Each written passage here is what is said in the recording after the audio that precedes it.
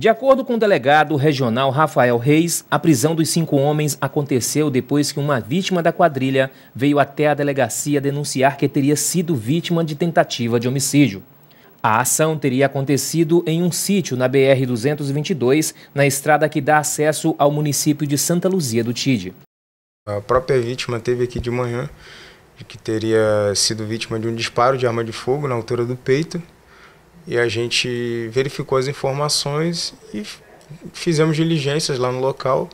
É, disseram que teriam indivíduos armados, aproximadamente cinco pessoas, e que teriam atentado contra a vida desse, desse rapaz. Chegando lá no local, a gente verificou um dos veículos apontados como participante dessa emboscada para essa pessoa e nos posicionamos atrás lá desse veículo. Quando chegamos lá, batemos de frente com pelo menos dois indivíduos armados, de, um com um revólver calibre, calibre 38 e uma pistola calibre 380.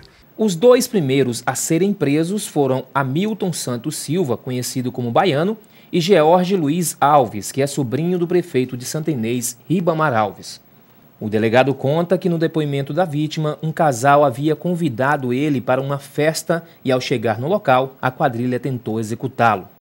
Segundo a vítima nos relata, ele teria vindo aqui até a cidade de Santo Inês, foi convidado por duas pessoas, um homem e uma mulher, para uma festa num sítio. E nesse sítio, quando ele chegou lá, já teria encontrado outros três homens. E que ele, ao descer do veículo, foi convidado até a, a beira de um açude que teria lá. E esse indivíduo que já está preso, o, a gente conseguiu interceptar ele em fuga em direção à, à cidade de Buriticupu. Ele teria tentado contra a vida dele. Puxou um revólver calibre 38 e disparou na altura do peito, atingindo. Porém, como o disparo foi superficial, ele, ele conseguiu se agarrar esse atracar, tomando a arma dele e escapuliu, pulando no rio e atravessando.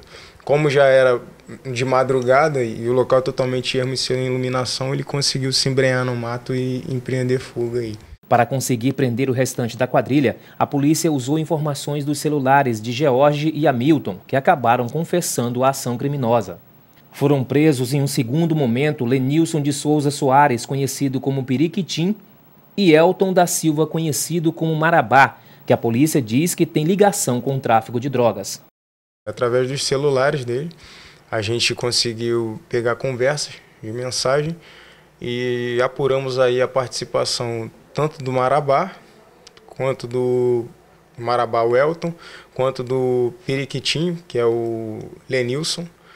É, eles foram as pessoas que combinaram com o George, que seria o dono lá desse, desse terreno, desse sítio, para fazer esse serviço. Eles receberiam uma quantia em dinheiro para ceder aí o, o, aquele espaço para que ocorresse esse crime. E diante também das outras mensagens, a gente apurou diversos outros crimes. Descobriu que o Jorge está é, recebendo o, a droga que o Marabá traz aqui para a cidade de, de Santenês, de São Luís, ele seria o atravessador. O Marabá compra a droga na cidade de São Luís, em grande quantidade, e insere aqui na cidade de Santenês através do, do George. Ele seria o atravessador dessa droga. O último integrante do bando seria José de Ribamar Júnior, conhecido como Pitbull, que teria efetuado os disparos contra a vítima. Pitbull estaria cumprindo pena no presídio de Açailândia e teria ganhado o direito da saída temporária no período da Páscoa e não teria retornado ao presídio. Saiu na temporada de na, na saída temporária de, de Páscoa e não retornou, né, como deveria, e já estava aí praticando crimes. Ainda de acordo com o delegado, o que motivou o crime seria ciúmes. Seria motivo passional. Segundo essa mulher que a gente ainda não conseguiu é, identificar, parece que o, o Pitbull estaria com, com ciúmes, num suposto envolvimento entre os dois. A quadrilha deve responder, entre outros crimes, por associação criminosa, porte e posse ilegal de armas, tráfico de drogas e associação para o tráfico.